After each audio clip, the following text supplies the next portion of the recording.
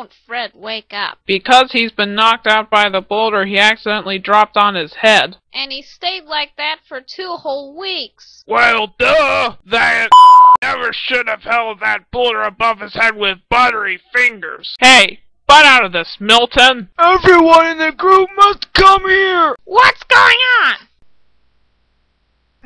Do any one of you know what happened to Fred? He held a boulder above his head And and... he dropped it on his head and he remained knocked out for two whole weeks. He might be dead then. Dead? I thought he was in a long state of unconsciousness. Well, we can't tell until someone checks if he's breathing. Can one of you check?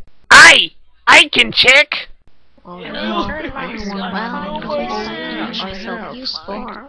Hey, Gray, do you mind if I groom you? Not at all, Blue.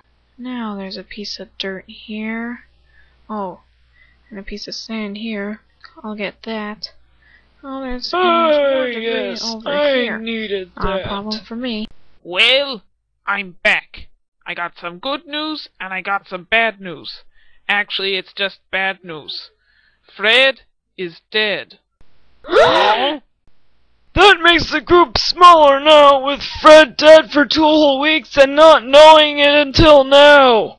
Oh, well, anyway, why do we wear underwear? Because we are accused of being indecent, so we have to. Not me. I don't wear underwear. what I think it's... Decent. What?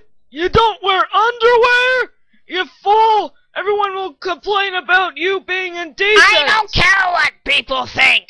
They're going to see our and they are going to like it. Hey, Randy, where'd you get that car? I built it. I used Wikipedia to learn about human cultures and their transportation devices. Everyone, pay no mind to this, this stuff.